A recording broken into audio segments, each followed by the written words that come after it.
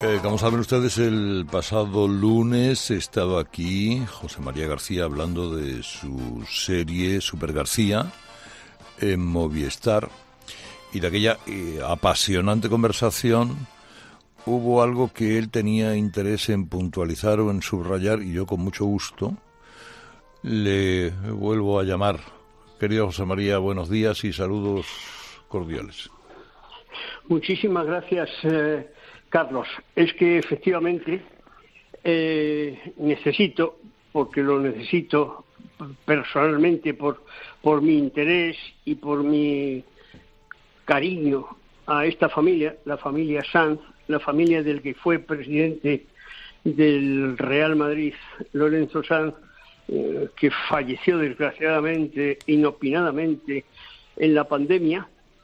Y eh, bueno, pues me tienen, me están martirizando con lo que tengo en una caja fuerte, que es, en esa caja fuerte que, que quise explicar que había, hay solo una eh, cinta grabada con un magnetofón, en donde uno de los mm, que intervino en todas aquellas operaciones de la Almería Castilla, el equipo filial del Real, del Real Madrid, sobre eh, unas historias y circunstancias que pasaron.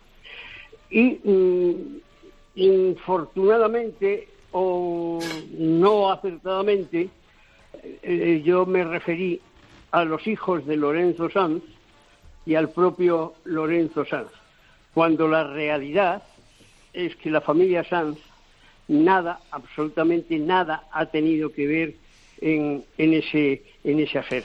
Y lo quiero hacer costar porque es una familia a la que yo quiero. Eh, sus hijos son amigos míos.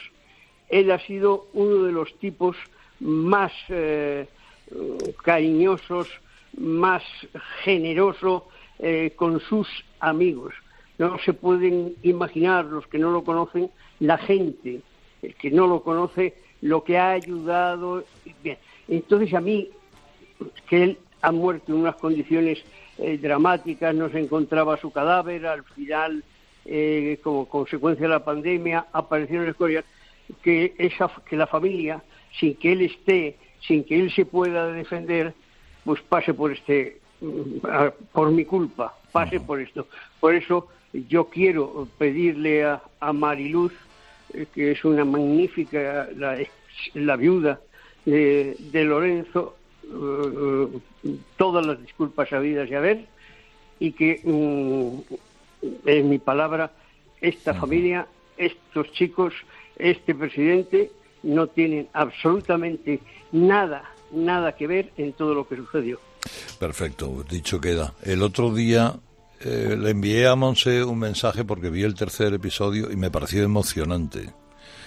Eh, eh, tú sabes que tú a Monse la tienes ganada por goleada hace muchos hace muchos años. ojalá Pepa se defienda de, la de la misma manera, pero te encanta. Y, y lo que pasa es que el, yo te quiero agradecer por toda tu generosidad con la serie.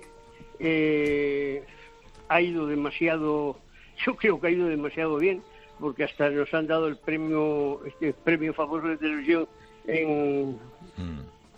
eh, Vitoria. Y, en fin, que ha ido, que ha ido muy bien y agradezco a todo a todo el mundo el bueno la, la, paz que me y la ayuda que me ofrecen. Por eso eh, yo querría yo quería estar tranquilo con mi con mi conciencia y el y evidentemente gracias porque ya lo estoy. Un abrazo José María hasta el, hasta el próximo gañote que te peguemos Antoñito, Roberto y yo, que esta vez va a ser... Eh, no, pero que esta vez, esta vez es justo y merecido, porque lo que, de la misma forma que, cuento lo negro, tengo que contar lo blanco. Eh, Recuerdan ustedes que una vez me colé y que medalla de oro, medalla de bronce, medalla de plata.